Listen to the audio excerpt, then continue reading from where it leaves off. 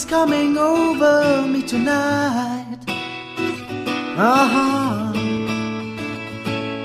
Pain, paralyzing fire, still alight.